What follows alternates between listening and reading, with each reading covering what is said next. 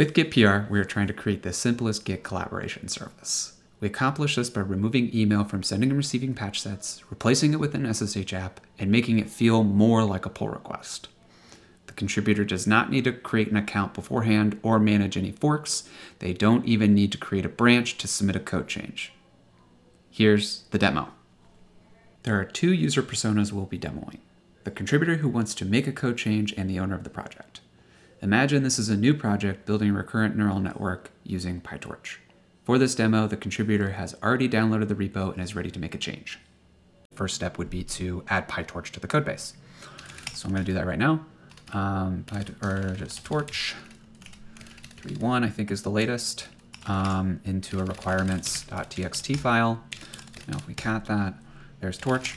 And then maybe we also want to um, import torch and um, maybe we just print a um, random tensor, uh, three by six, three row, rows, six columns, just to make sure that PyTorch is installed properly. Create a commit. Uh, we will say chore add PyTorch, add torch to repo, add torch to requirements. And okay, so we have the commit. We do a git log, we can see um, my username is Bob Sauer, and I created this commit. And as you can see, we are just building off of main. Um, that is one of the fundamental differences between a pull request and a patch request. Pull request, you need a branch, you push the branch to your own fork, and then from that fork, you submit a pull request. Um, that's a lot of steps, um, especially for such a minor and trivial change like we have here. Um, one of the benefits of using Git PR in, in this particular use case is it's very easy to just get a patch submitted. Um, there's no forking. There's there's there's no like buttons in the UI that you have to click. This all can be done from the terminal. And the way it works is you use the git format patch command. Nothing special here. Um, the only difference is that we instead of the default format patch command, which will save files to your file system and then you submit those in using git send email. Instead, what we want um, is to simply std out the patch. And the reason for that is we're going to pipe it into our SSH app, which is pr.pico.sh. And then you just need to know how to create a PR. So here we're creating a PR on the test repo um, and piping it directly into the SSH app. So as we do this, it will automatically create an account if it doesn't exist for that user's SSH key, and it will try to come up with a, a good username. By default, it will use the user that's provided by SSH. Um, so I'm going to add Bob so that I can claim that username. So we click that. Uh, PR submitted, use the ID for interacting with this PR so you can see the ID of the patch request that was submitted, the name that is associated with the patch request, and then the URL. We go back to the website. So here's the website. If we refresh the page, we now see a patch, um, chore add torch to requirements. It's in the open status. It was created by Bob, which is me, um, or the contributor in this case.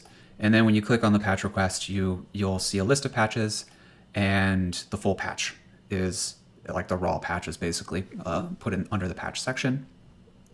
But the default is it's collapsed, so you can just see a quick overview of what has been changed in each patch.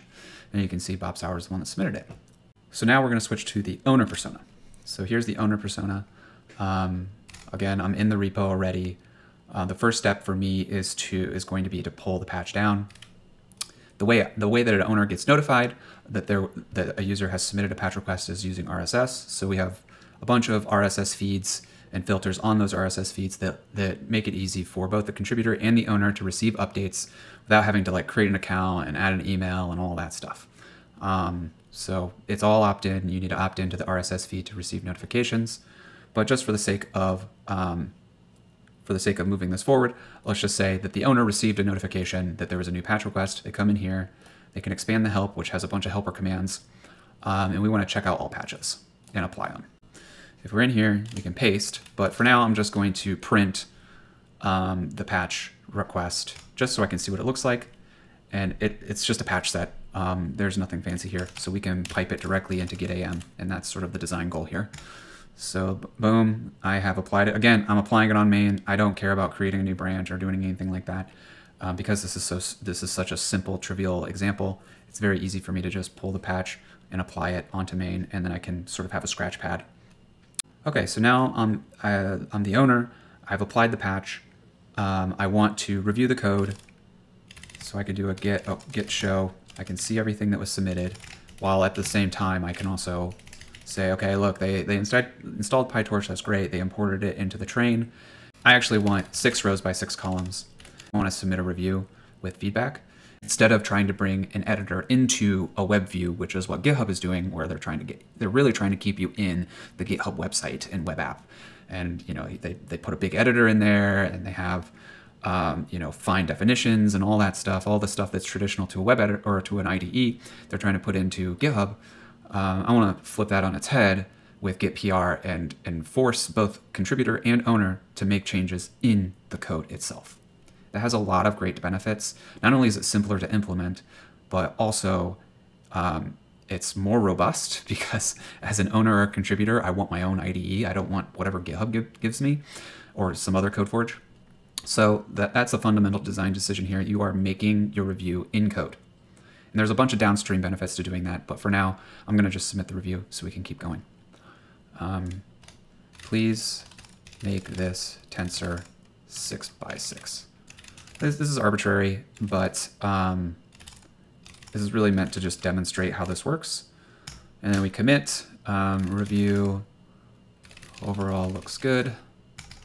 I just have one comment about the tensor shape. Thanks. So then we save it. Now, how do I submit the review?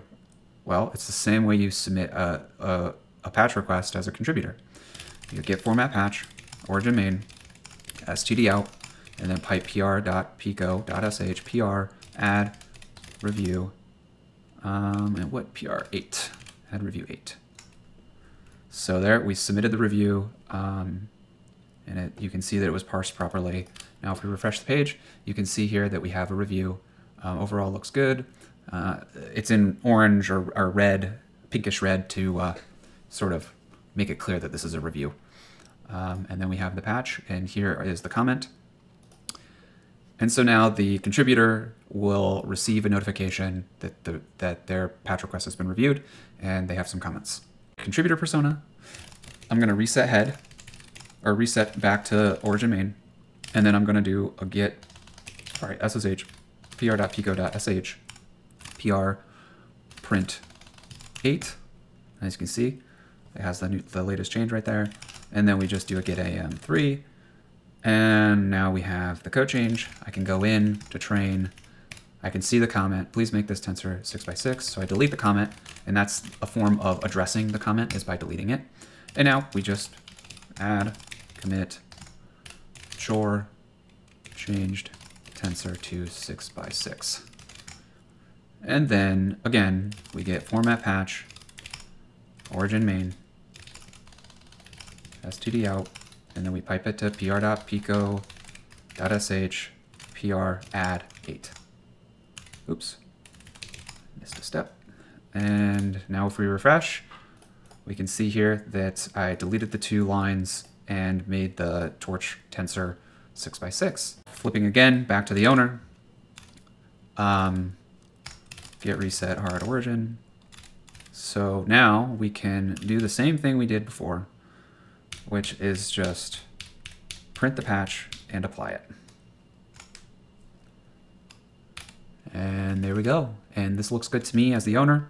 So I am going to accept, pr accept 8. And now, if we go in here, it's been flipped to accepted. And what the owner does would now is they would push to main. Um, and that's how the, or, you know, another what you might want to do is actually rebase to get rid of some of these commits. Um, so you'd squash them and then apply.